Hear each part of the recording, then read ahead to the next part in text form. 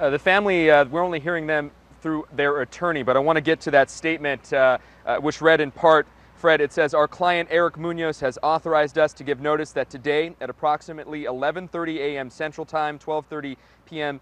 Uh, Eastern Standard Time, Marlise Munoz's body was disconnected from life support and released to Mr. Munoz. The Munoz and Machado families, that's the parents of Marlise Munoz, uh, will now proceed with the somber task of laying Marlise Munoz's body to rest and grieving over the great loss that has been suffered. They continued by saying, May Marlise Munoz finally rest in peace and her family find the strength to complete what has been an unbearably long and arduous journey. That journey lasting about eight and a half weeks uh, Marlise Munoz was legally pronounced brain dead on November 28th. Now, about an hour before we got this statement from the family's attorney, uh, we got a statement from the hospital, and I want to read uh, that in part. That read, from the onset, JPS has said its role was not to make nor contest law, but to follow it. On Friday, a state district judge ordered the removal of life-sustaining treatment from Marlise Munoz. The hospital will follow the court order. Now, Frederica, all along, JPS Hospital has maintained that they were simply following state law and that they did nothing wrong because they had no legal precedent to go off of. Now, I reached out to the vice president of communications for the hospital asking